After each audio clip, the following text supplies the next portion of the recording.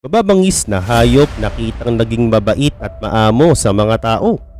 Alright, kamusta mga kaibigan? Welcome sa Arbin Polo TV. At sa video na nga na ito ay titignan natin ang hindi inaasahang maayos na interaksyon ng mga tao sa mga napakadelikadong mga hayop. Gaya nito.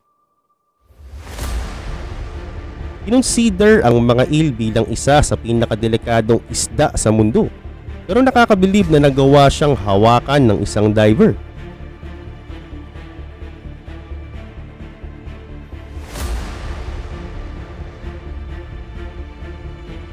Heto naman ang pinakadikaraniwang pagkakaibigan na nakita ko.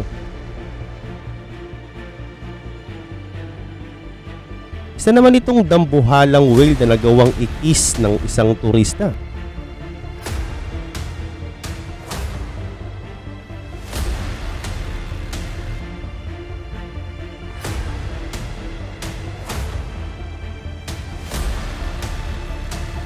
Sadyang napakadelikado ng mga Komodo Dragon.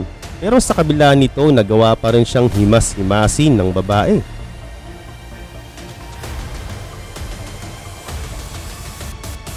Kilalang kilala ang layonesang itong may pangalang Lola na nakikisakay sa mga turistang nagagawi sa safari park.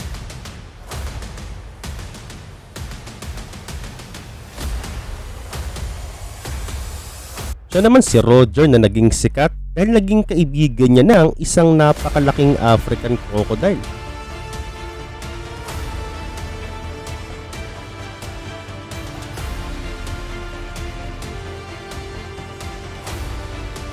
Napaka-sweet nilang dalawa pero kahit anong gawin natin hayina pa rin yan isang mabangis na hayop sa wild. Malamang bata pa lang silang dalawa ay magkasama na sila kaya ganito na nga lang ang kanilang turing sa isa't isa. Natulog naman siya kasama ang mga cheetah at inalam niya kung mas gusto ng mga itong matulog sa sahig o sa mainit-init na kumot na may sapin.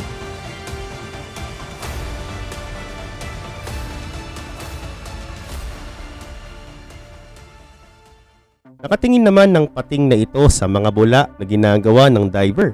At sa halip na lumayo papaalis ay binigyan lang siya ng isang mahinang tulak ng diver bilang hudyat na hindi siya ang prey.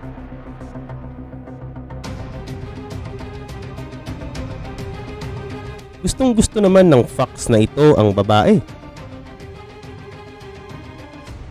At tila naman ata nakalimutan ng lobong ito na isa siyang mabangis na uri ng hayop.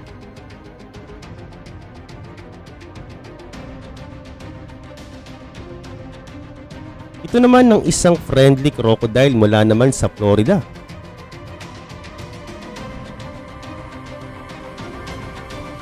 Ang mga hiyina ay kayang bumali ng buto ng mga tao gamit ang kanilang napakalakas na kagat. Pero makikita na napakabait niya sa mga tao. Siya naman ng photographer na habang kinukunan ng cheetah, dinidilaan naman siya ng isa pang cheetah.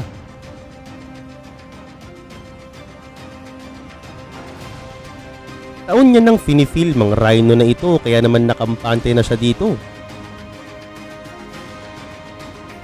Huwag kang haharap sa mga layon lalo na kung hindi mo alam ang kanilang behavior.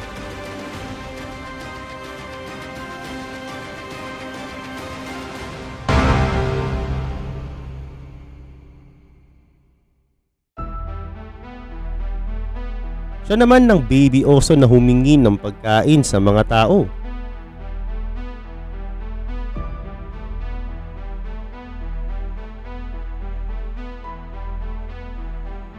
Siya naman ng hipo na inalagaan simula pagkabata ng isang pamilya. At ngayong malaki na siya, ay pinupuntahan niya pa rin ng kanyang dating pamilya. Ito pa ang isang halimbawa ng maayos na interaksyon ng tao at ng pating.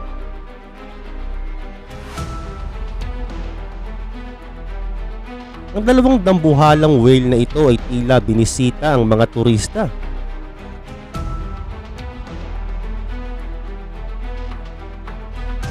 Naging nani naman ng uranggutan na ito sa mga baby tiger.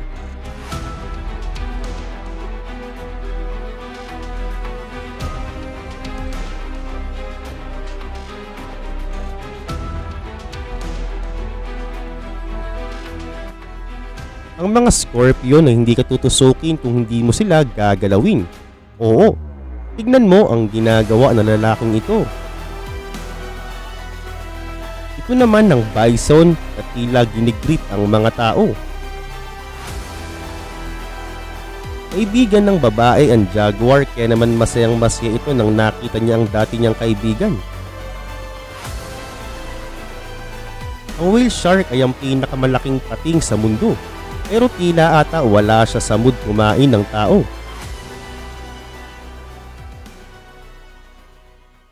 Busog lang talaga ang ahas kaya wala itong ganong kumain pa.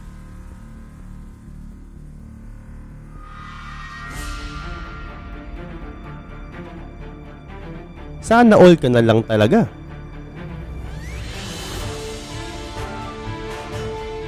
Kung ang iba ay takot sa mga bupalo ay hindi sa lalaking ito. Hindi lahat ng mga leopardo ay nakakatakot dahil meron din namang mabait.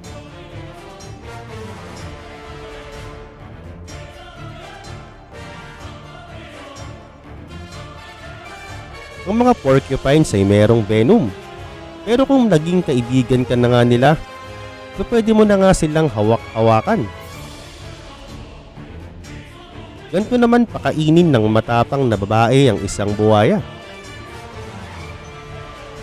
Siya naman si Kevin na naging sikat dahil nagawa niyang kaibiganin ang mga leyon.